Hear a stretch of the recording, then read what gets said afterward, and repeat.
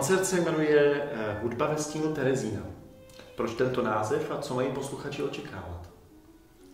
Tak ve druhé světové válce bylo zmařeno spousta lidských životů a samozřejmě nezahynuli jenom ti lidé, ti umělci, ale ztratila se s nimi svým způsobem i část kultury.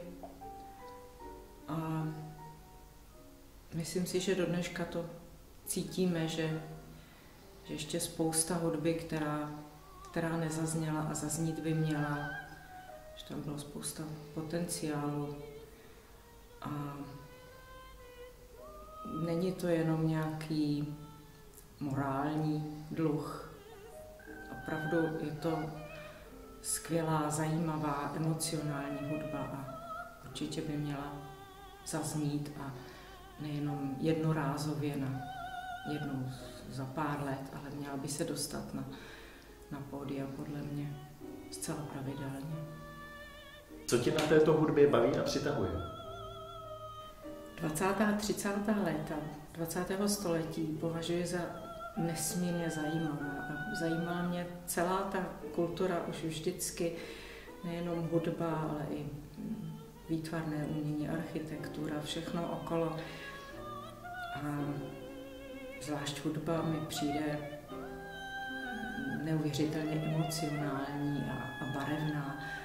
A má to samozřejmě ještě nějaký ten ten rozměr toho tajemna, že spousta té hudby zůstala někde v archívech a některá ani třeba do dneška nezazněla.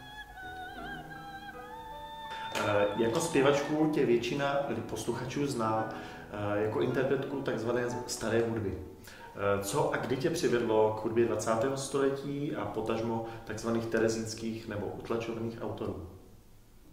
Tak já myslím, že už to dávno není, není pravda, že, že mě spousta posluchačů zná třeba z, z koncertů soudobé hudby, ale i romantické samozřejmě nejvíc je té vlastně té kontrastní, té staré hudby a té soudobé. A co mě k té hudbě přivedlo. Možná je to, možná je tam pořád ten prvek toho hledání. Něco, co nikdo předtím neudělal, nebo jenom málo lidí, je to neznámé, je to nějaké to, to tajemství toho málo známého.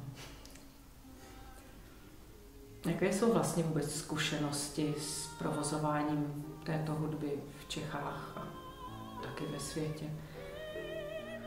Tak my už jsme tuhle tu hudbu nebo různé skladby z tohoto období měli šanci provádět na docela dost velké množství koncertů a osobně mám pocit, že pro spoustu posluchačů je to velmi příjemné překvapení a v podstatě z těch reakcí, které po koncertech dostáváme, ať už to jsou lidé, kteří přímo po koncertě přijdou a říkají nám, jak je to zaujalo, jak se jim to líbilo, nebo eventuálně z kritik, tak uh, mám pocit, že ty reakce jsou vždycky velmi pozitivní.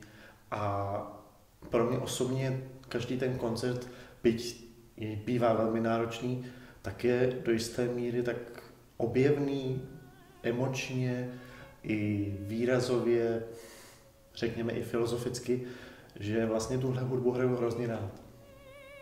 Na koncertě zazní i skladba poměrně neznámého skladatele Hanse Winterberga.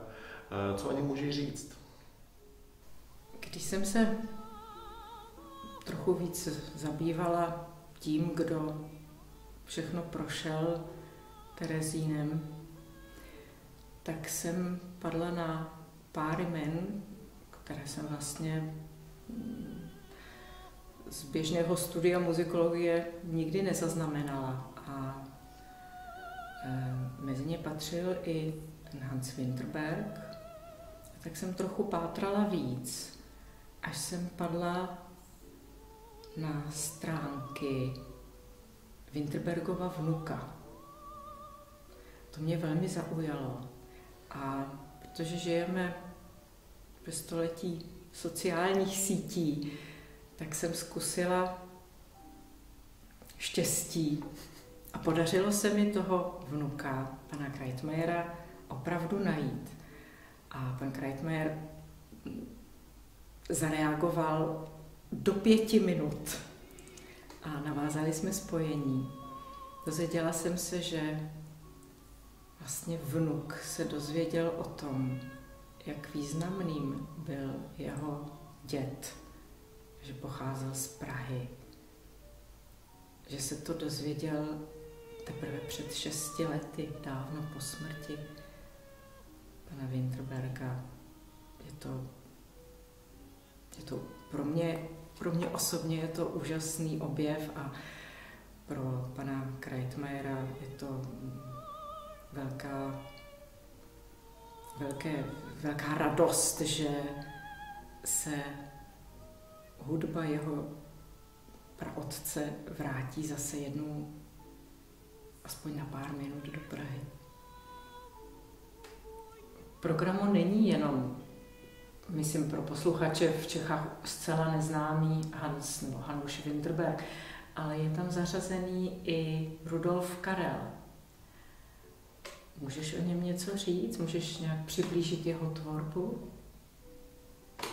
Já jsem na tvorbu Rudolfa Karla narazil v podstatě náhodou, protože on je trošku znevýhodněn v tom, že nebývá mezi tu skupinu těch terezínských autorů pravidelně členěn, přestože v Terezíně zemřel a zemřel tam poměrně nešťastným způsobem eh, po odvšivovací akci, kdy všichni z té marotky byli vyhnáni na mráz, tak on bohužel tohle nepřežil a necelé dva měsíce před koncem války tedy takto zahynul.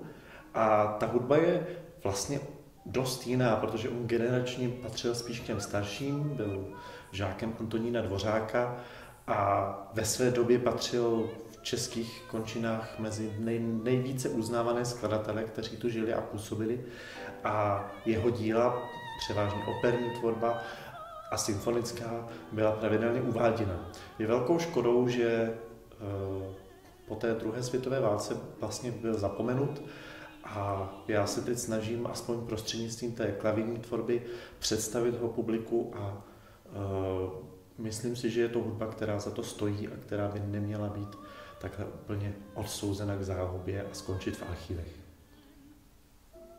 Jak vnímáš tohle hudbu z pohledu interpreta? Z hlediska náročnosti, výrazovosti, emocionality? Je to samozřejmě náročná hudba.